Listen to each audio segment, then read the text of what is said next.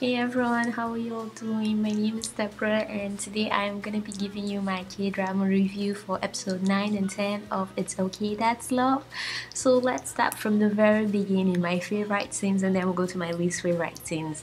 My number one favorite scene which also was one of my least favorite scenes was when Jo In Sung had the dream at the beach about Kangwoo and how she reacted to it when she immediately found out that he was hallucinating or he had a nightmare. She didn't realize he was hallucinating but she thought he had a nightmare and how she just gave him a hug and she was apologizing because she immediately realized that he had to sleep in the bathroom if not he would be having bad dreams. So I like how like I said before her being a doctor who handles patients like him gives her an edge over his situation in that she understands his situation to an extent and what he's going through. So i completely love how she handled that and how my second which leads to my second favorite scene when she went to the bathroom with him his bathroom and she tried to put him to sleep. I thought that was so cute. I thought that was the cutest thing ever now let's go to my third favorite scene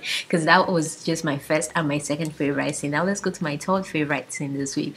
My third favorite scene this week, which got me laughing out loud, and I was just going crazy, and I was hitting the table and laughing and laughing and laughing, was when um, Su Kwang Kwang Su told Jo In Sung told Jaeyo that he's um, being controlled, and he was telling him eat, don't eat, eat, don't eat. I thought that was the most hilarious thing ever. I just couldn't stop laughing. I just kept on laughing and laughing and laughing. That was so hilarious and I thought that was so cute. So that was another scene that I liked. So now let's go to my last favorite scene of this week, the scene that I adored this week lastly.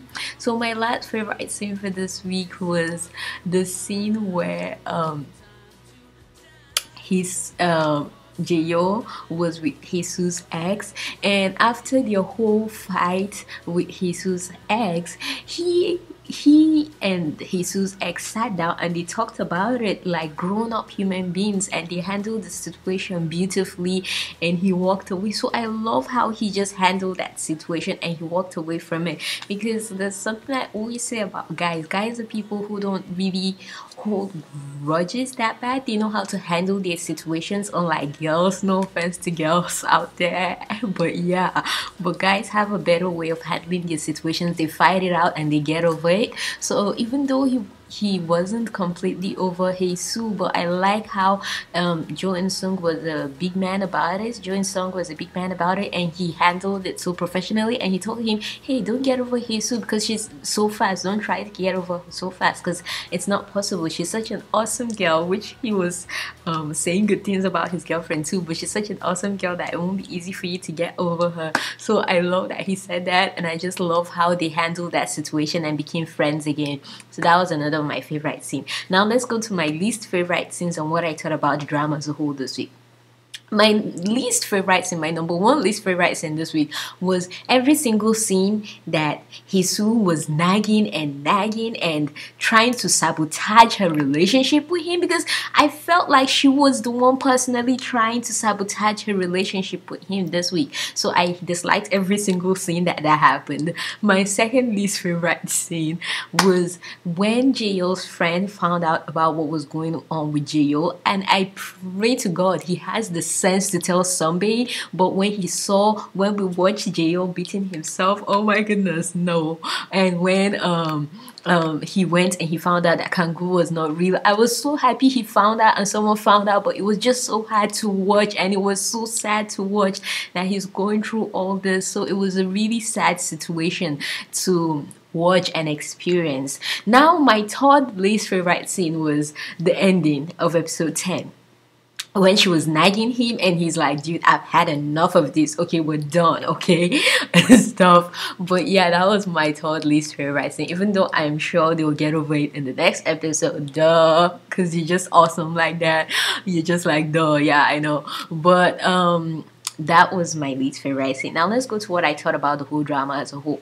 Once more, I'll repeat what I've been saying for a while now. I love how realistic and relatable the drama is.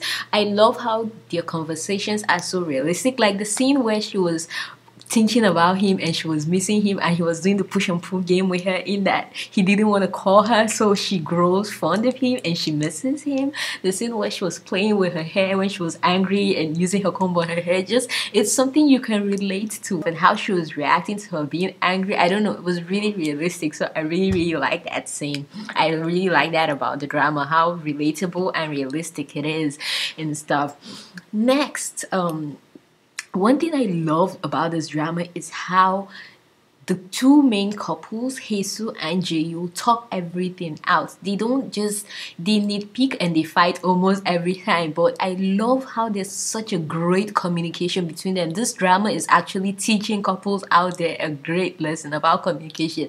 Maybe if you just talk it out, not even just couples, but just friends, among friends and people you deal with. If you talk out your problems, then you won't have to hold it in your head and be so angry unnecessarily and be and have it eat you up and etc and etc so i like how they just talk about their issues and they just let it go. And that's just it. The, the communication to the writer the communication is beautiful. I love how they communicate and just get over their problems real fast. So i really really like that about this drama. Another thing that um i loved about this week is the fact that um the um, truth finally came out. And like for me, I wouldn't say that Geo was the one who killed his father. Neither will I say Jaebom killed his father. I think they both had a hand in killing the dad.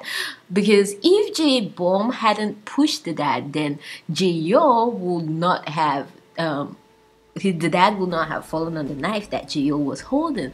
But then again, who's to say that Gio wouldn't have stabbed his dad? Though I don't think he would have personally gone through with it, but anything is possible, right?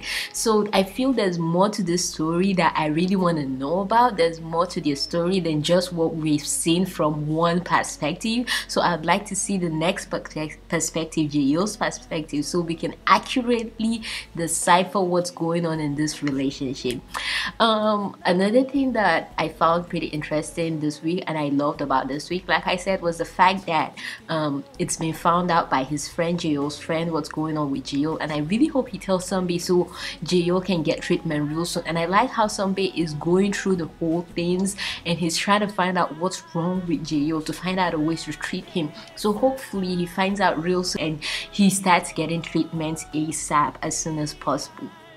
I wouldn't say I'm mad at his mom because I really don't know the full story right now and I don't want to point fingers yet. But if she really did put her son behind bars and she knows that her son did do it, then I question her a lot. But I will say that I don't I wasn't happy with Ji Yo's mom for one thing, and that's how she's so biased towards one of her sons because children notice things no matter how you think they don't notice, they really do notice things. So I'm sure he noticed and he said it how much love his mom has for his other brother and how she was treating him badly, and that's something you should never allow your child to see because it's it comes out really bad. It can lead to really grave things. So yeah, um that's another thing that I had with this drama this week. But I think it's gonna be pretty interesting when Jaeyo's relationship with um, Haesoo turns into the psychological issue uh, or the problems in their relationship go psychological and not just with her nitpicking on things and asking about his ex-girlfriend and her insecurities because she has so much insecurities right now which are getting on my nerves, on my last nerves. But I can't wait for it to go into something more deeper so we can see how they can survive through that and if they survive through that. But I'd really hate to see him die. So i really hope the writers don't just kill him off. But this week was pretty interesting. It was just cool and calming. There wasn't really anything hugely major apart from the fact that they found out about his problem or his friend found out about his problem. Nothing really crazy happened this week but another thing that I had a problem with this week was how Haesoo. I know a lot of people may not. I like. I don't support the way he reacted towards her on his writing situation, but that doesn't mean I support the way that Haesoo reacted towards it. Because if you watch the episode before the scene where he told her to literally get out of his room, she talked about how she knew writers were sensitive and she knew he was having a problem writing. So she should understand that when he's walking, he just wants to walk and he just wants to write. So she, I don't know, personally, I don't feel like she should have been so sensitive about it. I had a problem with how sensitive she was and I was like, girl, it's he was just writing, get out. I'm sorry, I just felt that way though, but I don't know about you. Y'all maybe you're like, Deborah, how can you say that to her? That was not nice. But I felt that way though. I felt like she needed to get out and give him his space because she was becoming a little bit too clingy for me.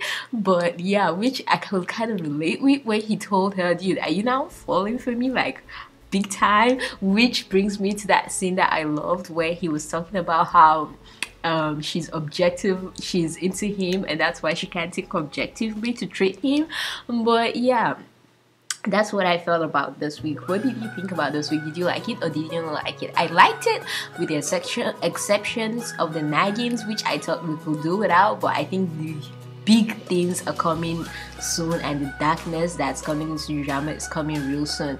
But those were the only problems that I had with the drama this week. And personally, if it was another actress and not Gong Hyojin, I'd probably might not even watch this drama again because nagging i don't like when people nag so it was just getting on my nerves but yeah that's how i felt about drama this week i still love it and i love that it has so much intertwining between her life work and what's happening to her in her relationship, her boyfriend, how they bring situations at work that makes her understand things with her boyfriend. E.g., the guy at the bedroom who slept at the bathtub, she understood what he was going through because she has a boyfriend who's going through such a situation, so she knew how to handle that situation and she didn't just give him the drug to the injection to take and stuff like that. So that's something that I love how her work helps her know how to treat Jo and Jo helps her know how to treat her work. So they kind of balance each other out. So I really love that about their relationship how they're very matured about things and how they balance each other out. But yeah tell me what you thought about this week in the comments down below. Um don't forget to give this video a like. Don't forget to share subscribe to keep being awesome beautiful people you are. From me to you you know I've got some love for you